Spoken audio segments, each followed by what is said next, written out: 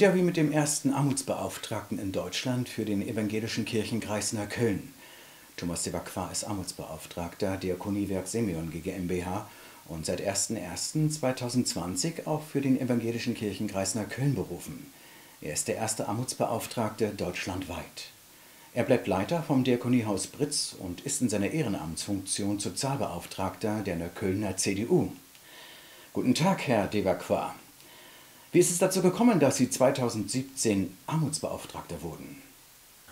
Ja, Herr Voss, also das hat mein Arbeitgeber, das Diakoniewerk Simeon 2017 so entschieden. Mhm. Und das hat natürlich auch eine Historie, das Ganze.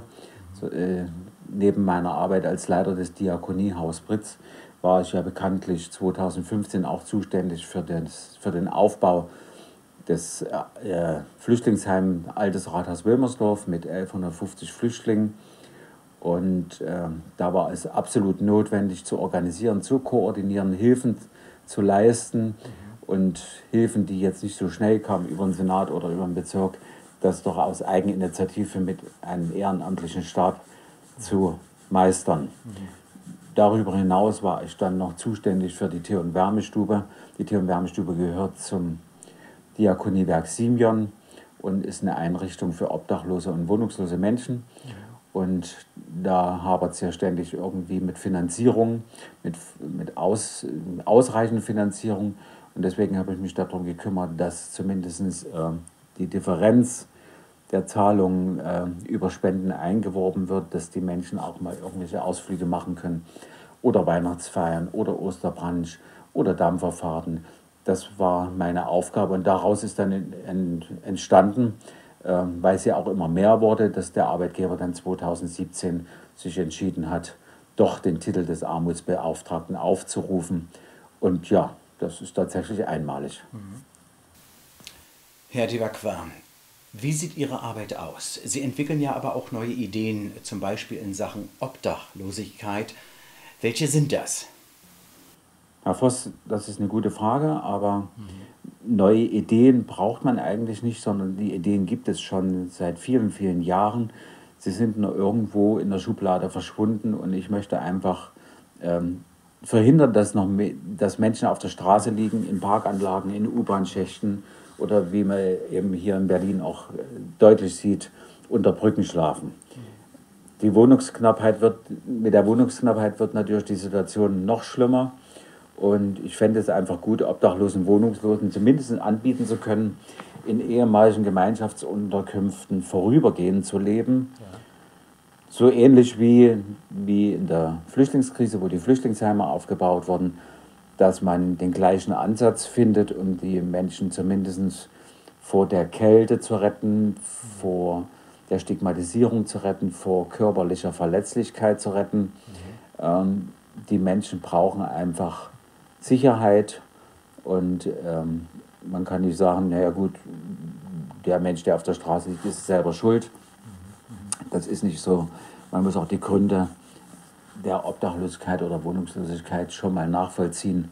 Und wir erleben das ja gerade so in den letzten zwei, drei Jahren ganz massiv, dass Obdachlosigkeit und Wohnungslosigkeit massiv zunimmt, dass ähm, immer mehr Tafeln entstehen, äh, wo Menschen Schlange stehen, um Lebensmittel zu bekommen, weil sie mit ihrem Geld nicht mehr ausreichen, das, was sie noch haben. Und es ist einfach wichtig, dass man den Menschen wieder Zuversicht gibt, dass man sie äh, begleitet mit Sozialpädagogen und Streetwalkern und ihnen auch das Gefühl gibt, sie sind nicht allein und es ist keine Schande, arm zu sein. Herr Divakwa, das Diakoniewerk Semyon betreibt ja auch die Tee- und Wärmestube in der Weisestraße 34. Welche Aufgaben obliegen Ihnen? Ja, Herr Voss, Sie kennen die Einrichtung. Sie waren ja auch schon ein paar Mal vor Ort. Ja. Es ist leider die einzige Einrichtung noch in Neukölln. Dort gibt es Sozialarbeiter, Ehrenamtliche. Äh, es gibt eine Kleiderkammer und die werden auch gut versorgt, zumindest was Kleidung und Nahrung betrifft. Und die medizinische Betreuung ist relativ gesichert durch einen privaten Verein in Berlin, das ist Medizin hilft. die sich also schon in der Flüchtlingskrise ähm, hervorragend äh, etabliert haben. Und diese Gruppe Ärzte und Krankenschwestern sitzen in Zehlendorf und die betreuen auch im Moment die Tier- und Wärmestube. Gut, jetzt in Corona-Zeiten nicht, aber ansonsten sind sie 14-tägig vor Ort und versuchen den Menschen zumindest kleine, kleine Wehwehchen oder, oder wie auch immer, ja. äh, sich das anzuschauen und äh, zu sagen, okay, der Mann muss ins Krankenhaus oder die Frau und äh, hier müssen wir nochmal eine Behandlung anschließen. Wie gesagt, alles ehrenamtlich, alles kostenlos und da sind wir relativ gut aufgestellt und wir haben im Moment in der Tier- und Wärmestube äh, mit der Aktion Lunchpakete, gerade in der Corona-Zeit, äh, zwischen 60 und 100 Gäste, äh, die dreimal wöchentlich Lunchpakete bekommen. Mhm. Im Moment eben nicht aus der Tier- und Wärmestube, sondern das wird alles vorbereitet im Diakoniehaus Pritz mhm. und wird dann in die Tier- und Wärmestube gebracht und dort werden die Menschen zumindest mit, mit gutem Essen versorgt, mhm. damit zumindest die gesundheitlichen Schäden so gering wie möglich gehalten werden. Gerade wenn es um Essen geht, ist es ja notwendig, dass äh, Obdachlose und Wohnungslose äh, ein gutes Nahrungsangebot äh, bekommen. Ja. Da ja nun bekanntlich ist, wer schlechte Nahrung zu sich nimmt oder kaum noch Nahrung zu sich nimmt, ist natürlich der gesundheitliche Schaden für, für Leib und Leben ja, ziemlich groß und das wollen wir damit vermeiden. Aber wie gesagt, ich hoffe ja, dass nach Corona sich die Situation etwas entschärft und die Tür- und Wärmestiefel wieder öffnen kann. Die mangelnde Gesundheitsversorgung ist Ihnen ebenfalls ein Dorn im Auge, oder? Ja, das ist eine gute, gute Frage und das kann ich auch relativ schnell beantworten, Herr Voss. Es gibt Ärzte, die halten Obdachlose absolut für nicht praxistauglich. Sie sind schmutzig, sie riechen unangenehm, so heißt es zumindest. Aber ich stelle dann immer die Frage, ja, wo sollen sie sich denn waschen oder, oder Kleidung wechseln oder ihre Notdurft verrichten? Das ist die 50 Cent, die in öffentlichen Toiletten verlangt werden, können sich die meisten nicht leisten. Und, und ich mache nur den Vorschlag, äh, mobile Dusch- und Toilettenwagen aufzustellen. Dazu gehört aber auch nicht nur in mobilen Duschwagen, sondern an diesem Duschwagen muss auch eine Kleiderkammer angeschlossen sein oder ein Kleiderwagen. Denn es ist ja, das wissen Sie selber, wenn Sie duschen gehen, dann wechseln Sie die Kleidung. Und das können Obdachlose nicht. Also duschen ist gut, aber die Kleidung müsste dann gleichzeitig äh, gewechselt werden, damit ähm, ja, die hygienischen Voraussetzungen zumindest da ein, ein bisschen angepasst werden.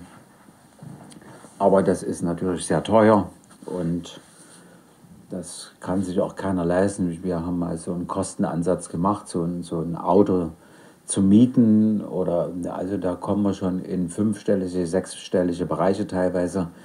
Und das kann sich keine Einrichtung leisten oder, oder ein großer Sozialträger, selbst große Sozialträger scheitern daran. Und ich würde aber dafür plädieren, äh, dass Obdachlose Wohnungen bekommen und dass sie dort versorgt werden können in ihren Wohnungen, so ähnlich wie das in Kanada oder in Finnland äh, gemacht wird erst die Wohnung, Versorgung und dann wird den Menschen weiterhin geholfen, ins zivile Leben zurückzukommen. Aber das ist eine lange, lange Geschichte. Sie haben im ersten Lockdown die Aktion Lunchpakete ins Leben gerufen. Was kann ich mir darunter vorstellen und welche Unterstützung bekommen Sie? Die Obdachlosen und Wohnungslosen äh, trifft und traf die Corona-Krise natürlich besonders hart. Also die Menschen, die eigentlich nicht zu Hause bleiben können, weil sie kein Zuhause haben. Die Aktion Lunchpakete wurde am 17.03. ins Leben gerufen aufgrund der notwendigen Schließung der Tier- und Wärmestube in Neukölln in der Weißestraße durch die Bestimmung zur Eindämmung der Corona-Krise. Es war natürlich nicht mehr möglich, da das Ehrenamt komplett weggebrochen war, dass die Tier- und Wärmestube in irgendeiner Form die Versorgung aufrechterhalten kann. Daher ähm, hat dieses Team aus dem Diakoniehaus Britz die Versorgung übernommen, hat das kalkuliert, hat den Wert kalkuliert solcher Lunchpakete, die liegen bei ca. 3 Euro. Das beinhaltet allerdings den Einkauf, den Transport den Strom- und Wasserverbrauch, das Einweggeschirr, die Zubereitung sowie die Ausgabe. Alles basiert natürlich auf freiwilliger Leistung und wird auch durch die, wurde durch die, durch die Geschäftsführung des Diakoniewerks Simeon und durch den evangelischen Kirchenkreis massiv unterstützt. Am Anfang war es natürlich noch nicht klar, wie die Finanzierung sein würde. Es ging immerhin um 350 Lunchpakete pro Woche. Und somit sind das weit über 1000 Euro gewesen. Und in dem Zuge wurde dann eine große Spendenaktion aufgerufen im, im Netz über Facebook, über Instagram, über die Medien. Und äh, die Berliner Sparkasse, äh, Samariter Purs, äh, Aktion Mensch sowie die Kirchenkreise und ihre Gemeinden halfen, halfen mit die, um zumindest äh, das finanzielle Fundament herzustellen, so dass die Aktion Lunchpakete doch äh, weiterlaufen konnte und somit auch über Monate abgesichert war.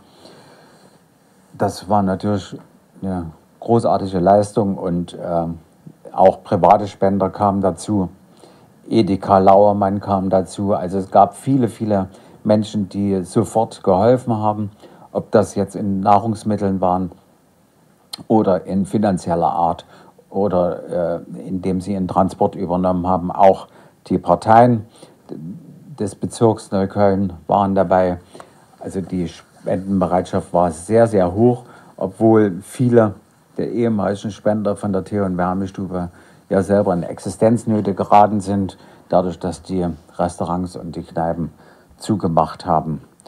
Das absehbar ist aber, dass in diesem Jahr das Spendenaufkommen vieler privater Spender eben nicht mehr möglich sein wird, da die Existenz weiterhin der Geschäfte weggebrochen ist.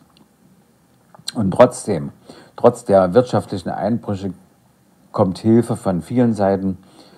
Und ich werde immer wieder gefragt, äh, warum denn die Kirche oder das Diakoniewerk nicht finanziell einspringen. Dazu muss man natürlich wissen, dass Lebensmittelausgaben äh, von keinerlei Zuwendung im Budget abgedeckt sind.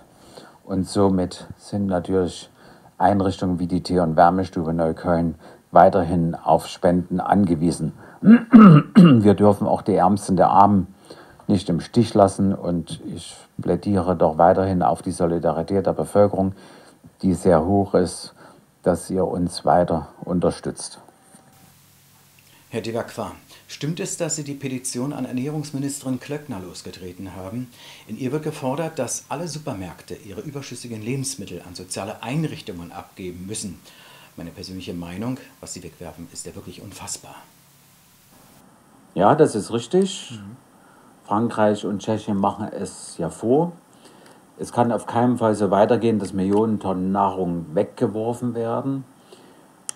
Und ich plädiere dafür, dass die Märkte äh, Verträge mit Einrichtungen schließen und Lebensmittel auch dorthin verbringen. Äh, sie sparen natürlich im Gegenzug die Entsorgungskosten, die ja nur auch nicht gerade niedrig sind, aber zumindest würde das auch bedeuten, dass die Unmengen von Ressourcen, die hier vernichtet werden, auch äh, dem sozialen Zwecke zugeordnet werden können und somit würde das Problem wegfallen, dass 11 Millionen Tonnen pro Jahr an Lebensmitteln einfach ja, auf den Müll geworfen werden. Und, wir, und die, die Tragik an der Geschichte ist, dass soziale Einrichtungen oder Tafeln eben darauf angewiesen sind, äh, Nahrungsmittel zu bekommen. Und wo es dann auch sehr problematisch wird, dass sie dann ausreichend bekommen, aufgrund auch der, der hohen Anzahl an Menschen, die mittlerweile Hilfe suchen. Letzte Frage. Glauben Sie, dass Sie der einzige Armutsbeauftragte in Deutschland bleiben? Herr Voss, das ist eine gute Frage und die kann man relativ gut beantworten, indem ich sage, ich hoffe es nicht. Vielleicht gibt es ja schon bald Kollegen auf Landes- oder sogar auf Bundesebene. Ähm, was wir wirklich brauchen, ist ein überparteilicher nationaler Rat, der sich um das Thema Armut kümmert und sie bekämpft. Und das würde ich mir wünschen, dass nicht nur der evangelische Kirchenkreis Neukölln ähm, als als Pilotprojekt betrachtet wird oder als Pionier, sondern dass alle Kirchenkreise und vielleicht dann sogar auf Landesebene diesen Weg mitgehen und eine Koordinierungsstelle einrichten, die eben auch den Titel trägt, Armutsbeauftragter. Und ja, wäre doch toll, wenn es einen Armutsbeauftragten für das Land Berlin gäbe oder sogar äh, in der Bundesregierung. Herr de Vacqua, vielen Dank für das Interview. Ich wünsche Ihnen viel Erfolg und Gesundheit. Tschüss.